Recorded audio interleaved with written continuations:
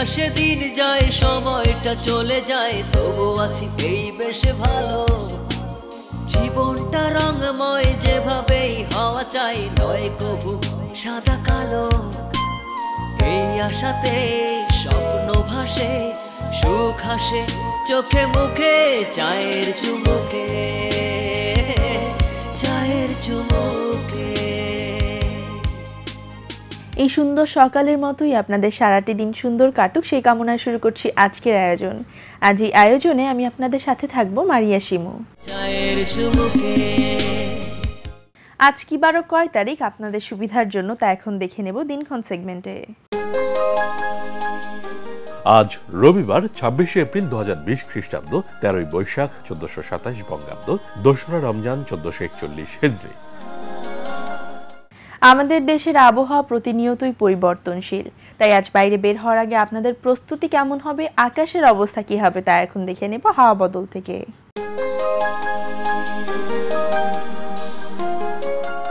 ঢাকা ও তার পার্শ্ববর্তী অঞ্চলের আবহাওয়ার খবর। আজকের তাপমাত্রা সর্বনিম্ন পঁচিশ, সর্বোচ্চ ছত্রিশ ডিগ্রি সেলসিয়াস, বাতাসের আর্দ্রতা সর্বোচ্চ ছেচল্লিশ শতাংশ, বাতাসের গতি ঘন্টায় উনিশ কিলোমিটার। আজ আকাশ অস্থায়ীভাবে আংশিক মেঘলা সহ সারা দেশের আবহাওয়া শুষ্ক থাকতে পারে। ময়মনসিংহ, সিলেট, ঢাকা, খুলনা, বরিশাল ও চট্টগ্রাম বিভাগের অনেক জায়গায় এবং রাজশাহী ও রংপুর বিভাগের কিছু কিছু জায়গায় অস্থায়ীভাবে দমকা অথবা ঝড়ো হাওয়া সহ বৃষ্টি অথবা বজ্রসহ বৃষ্টি হতে পারে। সারা দেশে দিনের তাপমাত্রা সামান্য বৃদ্ধি পেতে পারে ও রাতের তাপমাত্রা প্রায় অপরিবর্তিত থাকতে পারে। আজ ঢাকা ও তার আশেপাশে সূর্যাস্ত হবে সন্ধ্যা ছয়টা চব্বিশ মিনিটে এবং আগামীকাল সোমবার সূর্যোদয় হবে ভোর পাঁচটা আঠাশ মিনিটে। আজ ঢাকা ও তার আশেপাশে ইফতার সন্ধ্যা ছয়টা উনত্রিশ মিনিটে এবং আগামীকাল সোমবার সেহরির শেষ সময় ভোর রাত চারটা তিন মিনিটে। আজ যাদের জন্মদিন তাদের সবাইকে জানাচ্ছি চায়ের চুমুকের পক্ষ থেকে। জন্মদিনের অনেক অনেক শুভেচ্ছা। এছাড়াও বিখ্যাত ব্যক্তিদের জন্মদিনগুলো দেখে নেব শুভ জন্মদিন থেকে। চাইনিজ চলচ্চিত্র অভিনেতা জেট লি উনিশশো সালের ছাব্বিশে এপ্রিল জন্মগ্রহণ করেন। উনিশশো সালের ছাব্বিশে এপ্রিল জন্মগ্রহণ করেন ভারতীয় অভিনেত্রী মৌসুমী চ্যাটার্জি।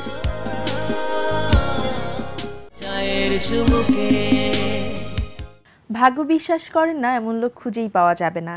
তাই যারা ভাগ্যে বিশ্বাস করেন তারা রাশিফলেও বিশ্বাস করেন।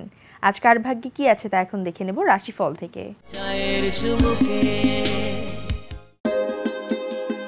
মেষ রাশি কিছু অনিবার্য পরিস্থিতি আপনাকে কিছুটা অস্বস্তি দিতে পারে। কিন্তু আপনি অবশ্যই আপনার ভারসাম্য বজায় রাখার চেষ্টা করুন এবং পরিস্থিতি নিয়ন্ত্রণে আনতে তাৎক্ষণিক প্রতিক্রিয়া জানানো উচিত নয়। বৃষ রাশি আপনার ব্যক্তিত্ব উন্নত করার জন্য আন্তরিক চেষ্টা করুন। কিছু বাড়তি পয়সা উপার্জনের জন্য আপনার উদ্ভাবনী চিন্তার ব্যবহার করুন। মিথুন রাশি আজকের দিনে বিশ্রাম অত্যন্ত গুরুত্বপূর্ণ হবে। আপনি কোনো বিষয়ের সমাধান করতে গেলে মেজাজ এবং পরিকল্পনার পরিবর্তন প্রভাবশালী হয়ে উঠবে। কর্কট রাশি, আপনার উচ্চ উদ্দীপনা সত্ত্বেও আপনি এমন কারোর অভাব অনুভব করবেন যিনি আজ আপনার সাথে থাকতে পারছেন না। আমোদ প্রমোদে এবং বিলাসিতায় বাজে খরচ করবেন না। সিংহ রাশি, আপনি পরিস্থিতি সামলানোর ফলে আপনার উদ্বেগের সৃষ্টি হবে। আপনি সম্ভবত বুঝতে পারবেন যে, এটি সাবানের বুদবুদের মতোই সব ভিত্তিহীন যা সাহসের প্রথম স্পর্শে ধসে গেছে। কন্যা রাশি, আপনি আপনার শারীরিক মনোবল বজায় রাখার জন্য খেলাধুলায় আপনার সময় ব্যয় করুন। বিলম্বিত টাকা করি পরিশোধ হয়ে যাওয়ার দরুন আর্থিক অবস্থা উন্নত হবে। তুলারাশি আপনার আবেগগুলি নিয়ন্ত্রণের চেষ্টা করুন, বিশেষ করে রাগ, ঝুঁকি বা অপ্রত্যাশিত লাভের মাধ্যমে আর্থিক অবস্থান উন্নত হতে পারে। বৃশ্চিক রাশি, বিশেষ করে গভীর রাতে যত্ন নিয়ে গাড়ি চালান, বন্ধুবান্ধব এবং আত্মীয় স্বজনের উপর নিজের মত চাপাবেন না। এতে আপনার নিজের স্বার্থহানি হবে এবং শুধু শুধু তাদের বিরক্ত করবেন না। ধনুরাশি আজ আপনি শক্তিপূর্ণ হয়ে থাকবেন। আপনি যাই করুন না কেন, সাধারণত আপনি যে সময় নেন, তার অর্ধেক সময় এটি করতে পারবেন। মকর রাশি। কোনো বন্ধুর দ্বারা জ্যোতিষতাত্ত্বিক পথপ্রদর্শন আপনাকে আপনার স্বাস্থ্য ভালো করতে উৎসাহিত করবে। সন্দেহজনক আর্থিক যোজনায় প্রতারিত হবেন না, বিনিয়োগ অত্যন্ত যত্নে করবেন। কুম্ভ রাশি। আপনার নিজের মনের উপর নিয়ন্ত্রণ আছে। আর্থিক সীমাবদ্ধতা এড়াতে আপনার বাজেটে আটকে থাকুন। ফাঁকা সময় সুযোগ নিন। আপনাকে পরিবারের সদস্যদের সাহায্য করতে হবে। মীন রাশি। আপনার ভয়ের প্রতিকার করার জন্য এটি উপযুক্ত সময়। আপনার অবশ্যই উপলব্ধি করা উচিত যে এটি কেবলমাত্র শারীরিক শক্তিকেই দমন করে না, উপরন্তু জীবনের দৈর্ঘ্যকেও কমিয়ে দেয়। চায়ের আমন্ত্রণ জানাচ্ছি প্রিয়মুখ সেগমেন্টে। আজ আমাদের মাঝে উপস্থিত আছেন একাধারে রন্ধনশিল্পী বাচিক শিল্পী এবং কবি আফলাতুন নাহার শিলু। শুভ সকাল কেমন আছেন? সুপ্রভাত আপনাকে এবং যেহেতু এটা ভাষার মাস ভাষা আন্দোলনের সকল শহীদের প্রতি আমি বিনম্র শ্রদ্ধা জানাচ্ছি। শুভেচ্ছা আপনাকে। ভালো আছি আমি। আচ্ছা তো যেহেতু অনেকগুলো কাজের সঙ্গে আপনি জড়িত, এতগুলো কাজ একত্রে কীভাবে সমন্বয় করেন বা কীভাবে সময় দেন? আমি পেশায় একজন রন্ধনশিল্পী।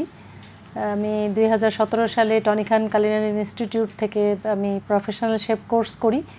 তারপরে এসি হসপিটালিটি ম্যানেজমেন্ট ইনস্টিটিউট থেকে লেভেল ওয়ান এবং লেভেল ফোর করেছি। বেকারির উপরে লেভেল টু করেছি। আর এখন আমার প্রফেশনালি আমি একজন রন্ধনশিল্পী এবং এখন আমি আমার একটা ক্যাটারিং কিচেন আছে।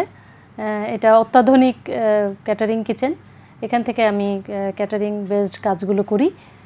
আর পাশাপাশি কবিতা, লেখা বাচিক শিল্পী হিসেবে নিজেকে প্রকাশ করাটা আসলে শখের পর্যায়ে পড়ে। গত বইমেলায় আমার একটি বই বেরোচ্ছে যার নাম ভালোবাসার ছাদ বাগান। আর এবারও চেষ্টা করছি, দেখি কি হয়। আর সম্প্রতি গান নিয়ে আমি কিছু কাজ করছি, গান লিখছি। অচিরেই এটা রেকর্ডভুক্ত হবে বলে আশা করছি। এটা দর্শকদের কাছে সারপ্রাইজ হিসেবেই থাক। আচ্ছা। আমরা যখন এটা রিলিজ হবে তখনই এটা জানতে পারব আপনি যেটা বললেন যে সমন্বয় আসলে সমন্বয়টা আমি ছোটবেলা থেকে খুব নিয়ম মাফিক কাজ করতে পছন্দ করি এবং রুটিন মাফিক কাজ করতে পছন্দ করি। সময়ের কাজ সময়ে করতে খুব ভালোবাসি। তো সব কিছু সমন্বয় করেই করার চেষ্টা করি পেশা এবং শখকে মিলিয়ে করি। এবং আমার কিচেনে এবং আমার যে আমার কিচেন থেকে একটা নিউজ লেটার বের হচ্ছে কালিনারি বিডি নামে। তো সেখানে যারা জড়িত আছেন আমার দক্ষ জনশক্তি আমার সাথে আছেন তাদের কি বলব যে we are working together as a team as a unit আচ্ছা তো এই যে আপনাদের যে নিউজ লেটারটি বেরোচ্ছে এটি নিয়ে ভবিষ্যৎ পরিকল্পনা কি বা এটিকে কোথায় নিয়ে যেতে চান? আসলে এটা তো বর্তমানে কিচেনের মুখপত্র হিসেবেই বের হচ্ছে। তবে আমি কালিনারি বিডি কালিনারি আসলে culinary means related to cooking তো কুকিং সেক্টর বা কালিনারি সেক্টরটা কিন্তু অনেক ডিটেল অনেক বড়। তো এই বিষয়ে আসলে আমাদের প্রচারটা কম। আমাদের অনেক বড় সেক্টর কিন্তু প্রচারটা কম। তো আমি যেটা উদ্যোগ নিয়েছি যে শুধু আমার কিচেনকে প্রমোট করার জন্য নয়, আমি কালিনারি সেক্টর কালিনারি সেক্টরের মধ্যে অনেক কিছু আছে। কুকিং পর্যটন, হোটেল ম্যানেজমেন্ট বা হসপিটালিটি সব কিছুই আছে। তো সব কিছুকে আমি তুলে ধরার চেষ্টা করছি। পাশাপাশি আঞ্চলিক রান্না, আমাদের দেশের যে ঐতিহ্যবাহী রান্না বা ঐতিহ্যবাহী কিছু খাবার সেগুলোকে আমি তুলে ধরার চেষ্টা করব বা করে যাচ্ছি। সবার দোয়া, শুভকামনায় আমি এটা বৃহৎ কলেবরে মানুষের কাছে পৌঁছতে পারব বলে আশা করি। রান্না করার যে বিষয়টা বা রান্নার প্রতি ভালোবাসাটা, এটা কবে এবং কীভাবে তৈরি হলো? এটা তো অনেক ছোটবেলা থেকেই। মা যখন আসলে মায়ের কথা না বললেই তো আর হবে না। মা যখন রান্না করতেন, আমার মা খুব ভালো রান্না করতেন। তো তখন আসলে রান্না করার সুযোগ পাইনি, কিন্তু মায়ের রান্নাটা দেখতাম, উপভোগ করতাম এবং স্বাদ গ্রহণ করতাম। তো সেই থেকে রান্নার প্রতি তো আকর্ষণ ছিল এবং বিয়ের পরে আসলে আমি রান্নার প্রতি মানে আমার হাজব্যান্ডের সহযোগিতা বা তার অনুপ্রেরণায় আমি আজকে এই পর্যন্ত। আর বিয়ের পরে আসলে আমি অনেক ছোট ছোট রান্নার কোর্স করেছিলাম। তো তখন আসলে মানুষকে খাওয়াবো সবাই প্রশংসা করবে এটাই আমার ভালো লাগা ছিল। পরবর্তীতে প্রফেশন হিসেবে নিয়েছি যেহেতু আমি প্রফেশনাল শেফ কোর্স করেছি এবং আমার যে এই সেক্টরের যে গুরু বা জনপ্রিয় শেফ আন্তর্জাতিক শেফ টনি খান তার অনুপ্রেরণা আমাকে এ পর্যন্ত নিয়ে আস নিয়ে এসেছে। আচ্ছা তো ক্যাটারিং এবং কালিনারির যে সেক্টরটা সেখানে আপনার অভিজ্ঞতা সম্পর্কে আমাদেরকে একটু বলুন। আসলে দুইটা তো পাশাপাশি ক্যাটারিং বলেন বা কালিনারি বলেন কুকিংয়ের একটা পার্টি তো আসলে ক্যাটারিং। তো আমাদের দেশ তো আসলে মধ্যম আয়ের দেশে পৌঁছে যাচ্ছে। তো আমাদের দেশের বেশিরভাগ লোকই কিন্তু এখন মানে ওয়ার্কিং। তো আমরা সেখানে চেষ্টা করছি যে এই যে ওয়ার্কিং জনগোষ্ঠী বা ওয়ার্কিং প্যারেন্টস যারা যারা হয়তো বাচ্চাদের জন্য বা ফ্যামিলি মেনটেন করতে পারছেন না বা সময়ের অভাবে হচ্ছে না, বা কোনো একটা পার্টিতে বা কোনো একটা প্রোগ্রাম ফ্যামিলি প্রোগ্রামেই হয়তো বা পেরে উঠতে পারছেন না, তখন আমরা কি করছি? আমরা তাদের সহযোগিতায়, তাদের সেবার জন্যই আসলে ক্যাটারিং সার্ভিসটা চালু হয়েছে বাংলাদেশে, এবং এখন তো অ্যাপস ভিত্তিক অনেক খাবার সরবরাহের ব্যবস্থাও আছে। আমরা সেগুলোর সঙ্গে যুক্ত আছি। আর কালিনারির কথা যেটা বলব যে কালিনারি কালিনারি বিডি আমাদের একটা স্বপ্ন এবং কালিনারি বিডি থেকে আমরা যেটা আশা করব বা আশা করছি বা সবার সহযোগিতা যেখানে যে কালিনারি বিডি থেকে আমরা কালিনারি সেক্টরকে এমন একটা জায়গায় দেখতে চাই যাতে মানুষ কালিনারি কালিনারি মিন্স হোয়াট এটাই অনেকে জানে না। তো আমরা আসলে কালিনারির আদ্যপান্ত মানুষকে জানাতে চাই। কালিনারি সেক্টরটা অনেক বড় কি জায়গায় পৌঁছাবে, এটা আমার আশা এবং দক্ষ জনশক্তি তৈরিতে আমরা মানে এই এই এই পত্রিকার মাধ্যমে দক্ষ জনশক্তি বা যেটা জব সার্চিং বা সেই সেই পর্যায়ে নিয়ে যেতে চাই। কারণ আমাদের দেশে আসলে দক্ষ জনশক্তির অনেক অভাব। হ্যাঁ অনেক ইনস্টিটিউট আছে যেখান থেকে দক্ষ জনশক্তি বের হচ্ছে, কিন্তু সেই দক্ষ জনশক্তিকে প্রপারলি কাজে লাগানো সবার দায়িত্ব। অবশ্যই চমৎকার বলেছেন। তো কবিতা লেখার শুরুটা কীভাবে হয়েছিল বা এর পিছনে অনুপ্রেরণা কার? কবিতা আসলে খুব ছোটবেলায় যখন স্কুলে খুব একটা বলব না তবে যখন কলেজে পড়ি ফার্স্ট ইয়ারে তখন আমি আমাদের বড় বড় খাতা থাকতো নোট করার জন্য। তো তখন এই খাতার প্রথম পেজে আমার হাতের লেখা মোটামুটি ভালো। তো অনেক আর্ট করে করে দুই তিন লাইন করে লিখতাম। এটা আসলে কবিতা বলা যাবে না কিন্তু আমার মনের অনুভূতি হ্যাঁ আমার মনের অনুভূতি বা প্রকৃতির কোনো ভালো লাগা কিছু একটা আমার মধ্যে হয়তো ছুঁয়ে গেছে তখন আমি ওইটা লিখে রেখেছি। এভাবে করতে করতে একসময় কবিতা লেখার প্রতি আমার বন্ধু বান্ধব বা আমার শুভাকাঙ্ক্ষী যারা বা আমার শিক্ষক যারা ছিলেন তারা আমাকে অনুপ্রেরণা দিয়েছেন যে তুমি তো লিখতে পারবা লিখো। তখন আমি হয়তো লিখলাম। আর মাঝখানে হয়তো লেখাটা এত আত্মপ্রকাশ করিনি। পরে মনে হলো যে না এটা সব থেকে বেশি অনুপ্রেরণা আমার হাজব্যান্ডের এবং আমার দুই ছেলে আমার ছেলেদের অনুপ্রেরণা। অনুপ্রেরণায় আজকে আমি গত বছর এই ভালোবাসার ছাদ বাগান বের করেছি। আচ্ছা তো এই অ্যালবামটি বের করার পরে সবার রেসপন্স কেমন পেয়েছেন? না, আল্লাহর রহমত অনেক ভালো। সবাই আমাকে উৎসাহ দেয়। ফেসবুকে ফেসবুকে আসলে আমার একটা গ্রুপ আছে music group rendezvous with friends তো এখানে আসলে এই এই গ্রুপটাও তো শিল্প সংস্কৃতি ভিত্তিক হ্যাঁ মানে গান, কবিতা, সাহিত্য, এই ভিত্তিক একটা ফেসবুক গ্রুপ তো আমি এবং আমার হাজব্যান্ডে ওখানে অ্যাডমিন তো আমি বেশি এই- এই- এইখানে অ্যাক্টিভিটিটা আমারই থাকে বেশি। তো সুতরাং আমি অনেক অনুপ্রেরণা পাই, অনেক সাহিত্য পরিষদের সাথে আমি যুক্ত আছি। তারা আমাকে অনেক অনুপ্রেরণা দেন। তাদের প্রতি আমি কৃতজ্ঞ। এই এইভাবে এগিয়ে যাওয়ার জন্য। আচ্ছা তো এত ব্যস্ত আপনি এতগুলো কাজের সঙ্গে জড়িত রয়েছেন তার মাঝেও কীভাবে পরিবারকে সময় দেন? পরিবার তো আমার সাথেই থাকে আসলে সব সময় পরিবার তো আমার আত্মাই পরিবার আমার পাশেই থাকে। আর আমার হাজব্যান্ডের অফিস এবং আমার কিচেন একই ফ্লোরে। সুতরাং আচ্ছা। আমরা প্রায় চব্বিশ ঘণ্টা একসঙ্গে থাকি। আর আমার বড় ছেলে বড় টোয়েন্টি ইয়ার্স ওল্ড ছোটটা ফোরটিন তো সেক্ষেত্রে আর ওই ধরনের প্রতিবন্ধকতা প্যারেন্টিং ওই ধরনের প্যারেন্টিং লাগে না। তবে আমি মানে আমার কিচেন এবং বাসা পাশাপাশি যার কারণে আমি মানে প্রতি মুহূর্তেই তাদেরকে টেক কেয়ার করতে সকলের পারি। মধ্যে যোগাযোগটা থাকে। সব কিছুর মধ্যে একটা সমন্বয় করে কাজ করার চেষ্টা করি। তো আপনার যে কিচেন রয়েছে বা যেখান থেকে আপনি আপনার খাবারের বা কালিনারি কাজগুলো যেখান থেকে সম্পন্ন হয় সেখানে এখন কয়জন আপনাকে সাহায্য করার জন্য রয়েছে এবং সেটা কীভাবে পরিচালিত হয়?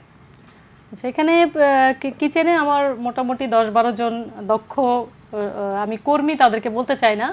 যেহেতু তারা আমার ফ্যামিলি আমি দক্ষ জনশক্তি বলতে চাই। তারা আমার সঙ্গে আছেন এবং তারা কোঅপারেটিভলি কাজটা করেন।